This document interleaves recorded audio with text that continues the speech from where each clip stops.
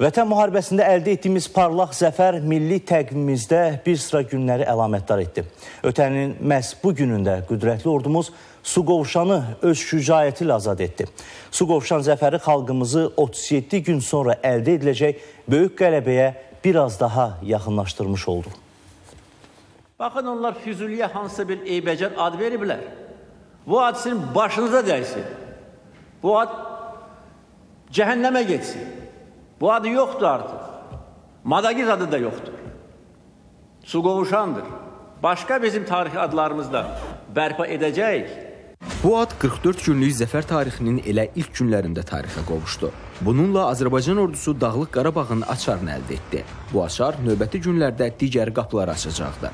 Bu ərazilər 1991-92-ci illərdə işğaldan azad olunsa da 1994-cü ildə yenidən Ermənistan hərbi birləşmələri tərəfindən işğal olunmuşdu. Rəşədətli Azərbaycan ordusunun 44 günlük vətən savaşında əks hücum əməliyyatı zamanı Tərtər rayonunun Suqovşan e, kəndi ilk işğaldan azad olunan yaşayış məntəqələrindən biri oldu. Bundan sonra Azərbaycan ordusu digər istiqamətlər üzrə irəliləməyə başladı.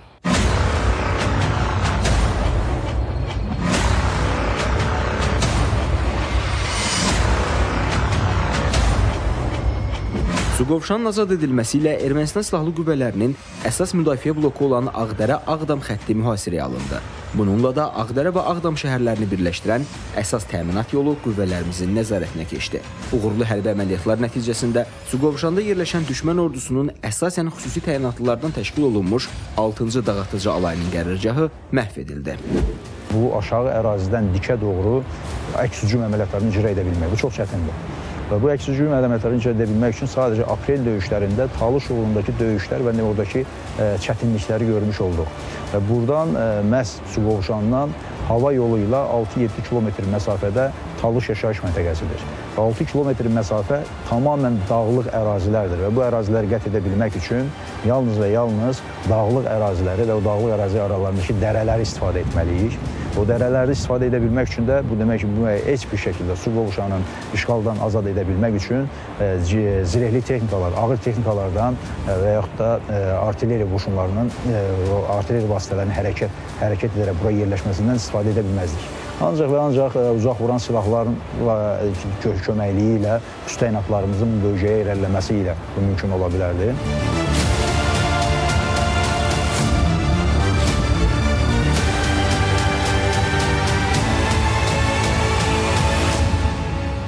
Hal-hazırda dayandığımız Suqovşan kəndinin azad olunması heç də asan başa gəlməyib. Bu torpaqlar uğrunda canlarını, qanlarını fəda edən qazilərimiz, şəhidlərimiz olub. Həmin qazilərimizdən biri hal-hazırda bizim yanımızdadır. Söhbət Suqovuşanda Azərbaycanın üsəkli bayrağını dalğalandıran İlkin Fərzəliyevdən gedir. Onun keçdiyi döyüş yolundan isə İlkinin özündən işləyəcəyik. 6 nəfər ayrıldıq. Həmin istiqamətdən gəldik, çıxdıq buradakı təpənin üstündə əsas yola bir nəfər qoyduq. Rüstəmov Elşən var idi, onu qoyduq. Ondan sonra Qəhrəmanov ə, Qəzənfərov Tərlan, mən Məmmədli Fərid. Bir də Tayverdiyev Rəşad var idi. Qəzənfərov Tərlan əsas yolu sol cinahını tutduq ki, birdən e, texnika ilə gələrlər də, o azla, nəsə bir şeylə əlavə baskı olar, bunu saxlayıb, siz içərini rahat işləyin. İçəri girdik, maşallah olsun, salamatçılıq, hər şey yolunda. Burada düz olan bu istiqamətlərdə də xeyli leşləri qalmışdı.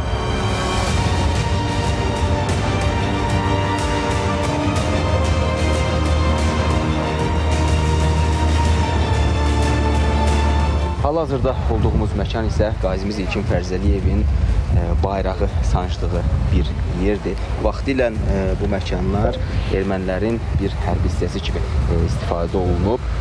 İlkin, yəni Suqovşana bayrağımızı sancan yanımızdadır.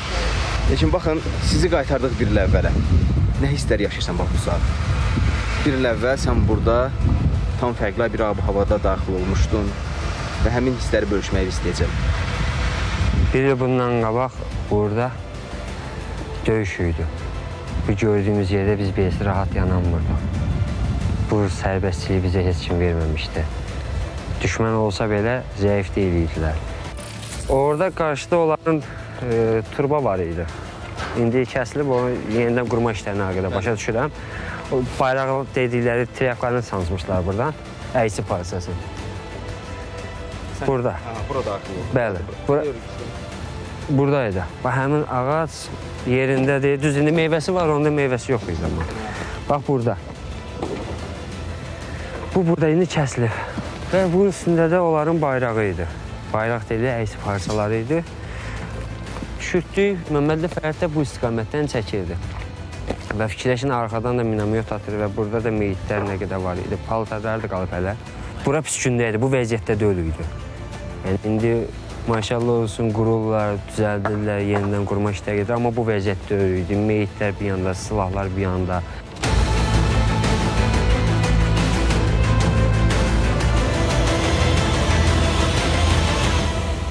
Suqovuşan hərbi strateji əhəmiyyəti ilə yanaşı iqtisadi baxımından da olduqca e, unikal bir məkanda yerləşir. Belə ki, hal-hazırda durduğum e, məkan Suqovuşan e, su anbarıdır. Bu su anbarının ümumilikdə 5,86 milyon kubmetr həcmi var.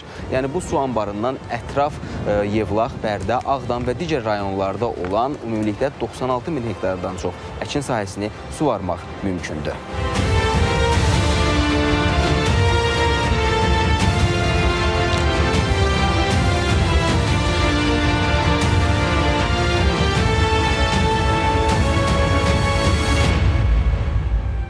İşğaldan azad olunmuş digər torpaqlarımızda olduğu kimi Azad su qovşanda da düşmən daşı daş üstünə qoymayıb.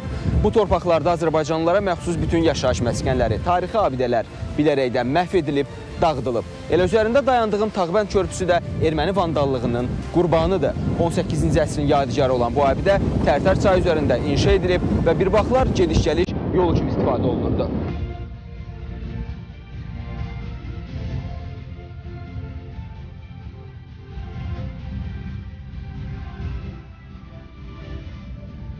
Suqovuşan ərazisində həmçinin məşhur Mömin Vaçaqanın məzarı, eyni zamanda Alban